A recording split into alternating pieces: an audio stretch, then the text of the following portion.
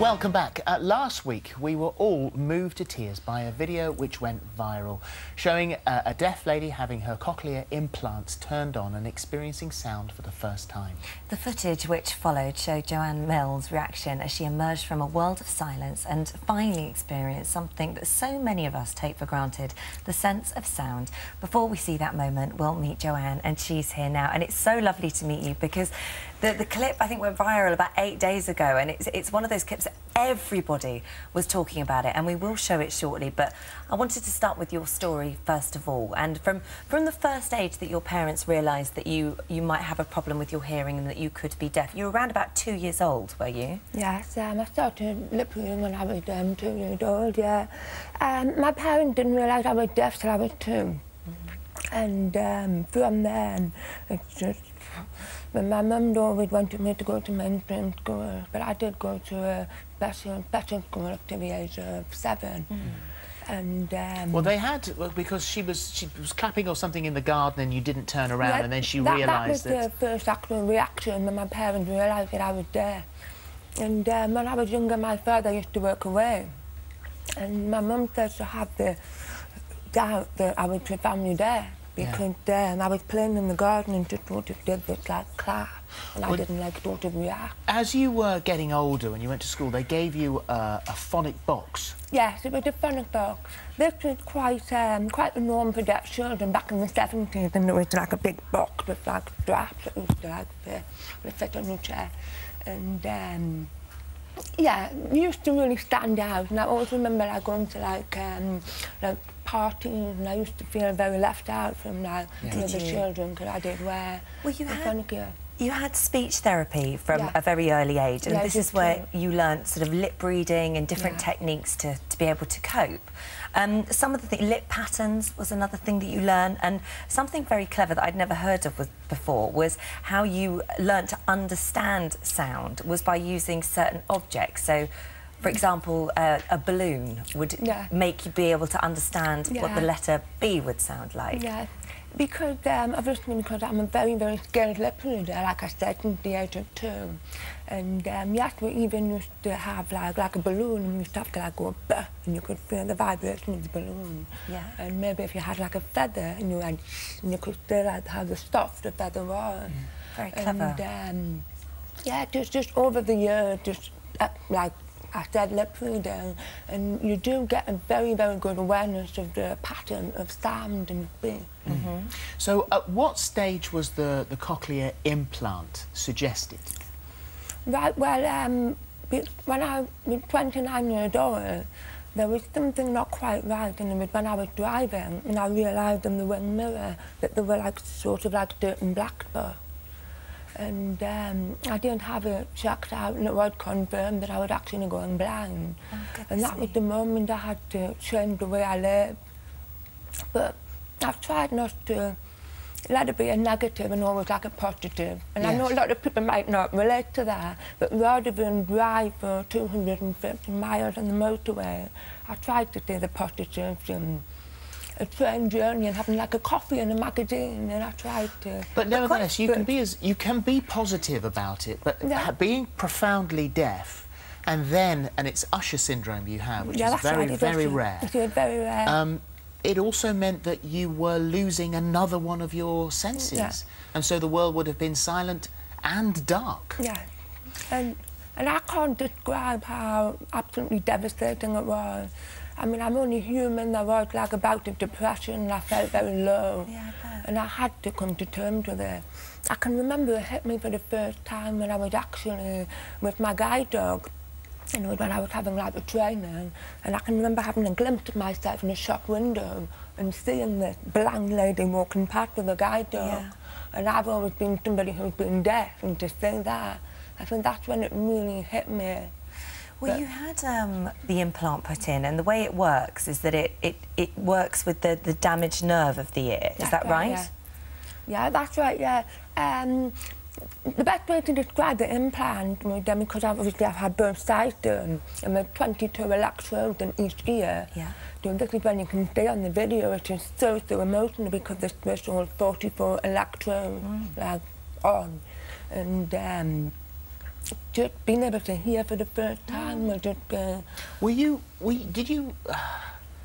was it explained to you how how it might be, how successful it might be? Um, because I know that the the sound has had to be turned up very gradually so it doesn't overwhelm your brain. But that moment when you hear, which Yeah. we're going to see in a second, for the first time, Yeah. in itself must be overwhelming. It is absolutely overwhelming. It's just not what I imagined sound to be like. Really? I mean, on that video, that's actually only the first time I've had two more adjustments. And even only yesterday, I've had like another third of the volume adjusting.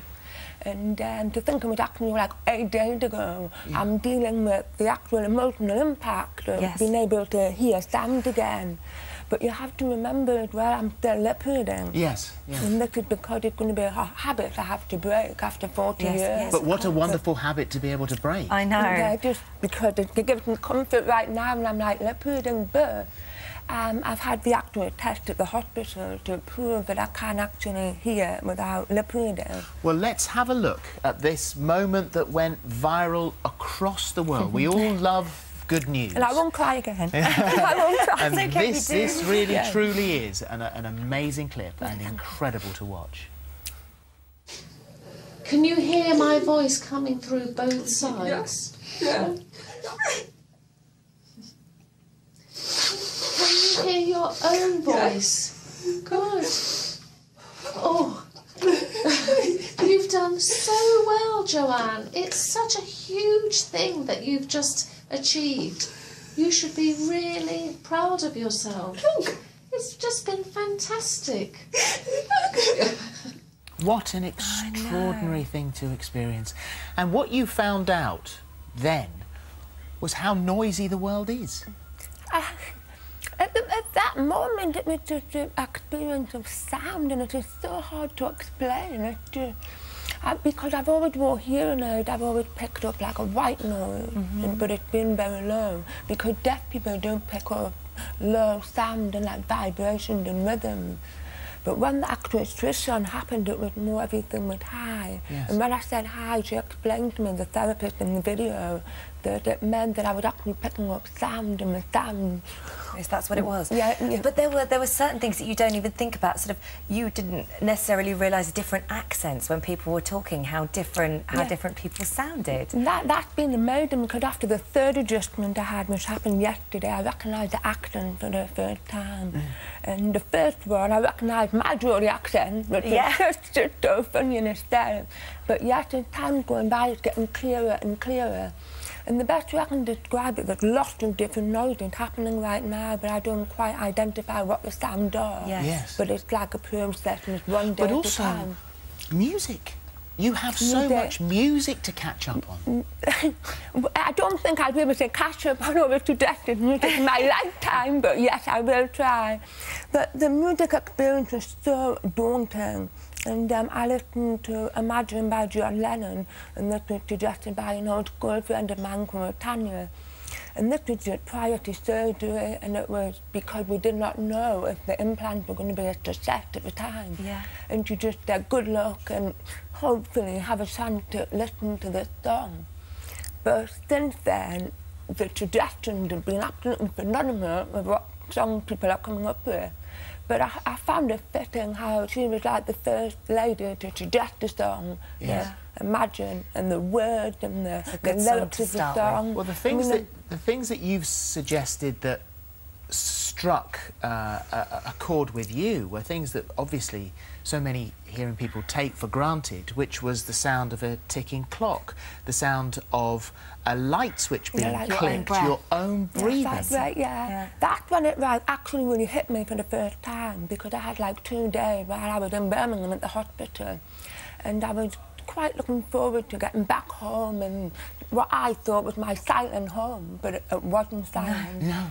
It was like I said, it was the clock ticking, the, the sound of my footsteps, even like the, like when there was like the hangers in the wardrobe, everything sounded so loud Gurgling to tap me. was the other one Yeah. you thought was unusual. Yeah. Um, thank you so much for coming in. It's so nice to meet you after having watched that. Um, and, and just good luck with everything. Thank you. Because it's a working process still, I know, for you. So Yeah. good luck Have you with used the everything. telephone yet?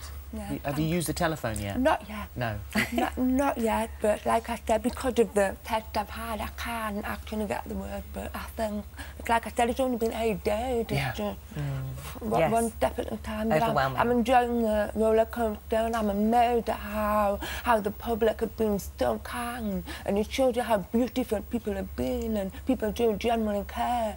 And the actual global awareness of Usher syndrome not just what's happening in my personal life, it's also what's happening in the global awareness of Yeah. Usher syndrome because I only recently moved back home and when you do that thing you register with a doctor and a mm. dentist and I was absolutely amazed that I met two medical professionals in one week and they Yeah. both had not heard of Usher syndrome Wow. and to think that this is going to We'll put uh, we'll put details of anyone uh, anyone who is actually interested in the cochlear implants, which I know don't work for everyone, Oh, but yes, of also for Usher yeah. syndrome as well. We'll put Yeah. all of those details on our on our website. And thank you so much. Thank much. you. Thank Lovely you. to meet you. Very. Thank you very much. Thank Thank you.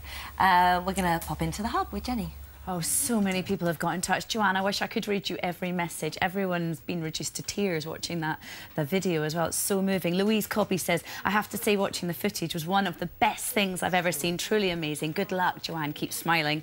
Mia Thomas, it's so moving to see how someone's life can be turned around by something many of us just take for granted every day. Zara, I know it's not quite the same, but I'm partially deaf and I'll never forget the first day I wore my hearing aid. Being able to hear the sounds of the birds and a tractor in the field was amazing. And Joanna Jones says the footage of Joanne hearing for the first time is very emotional. How amazing for her. And all the best to you and the new experiences you're going to have. I think we all share that. Absolutely. Thank Thanks, you Jenny. so much. Thank Brilliant. you. Thank you. Right, here's today's competition.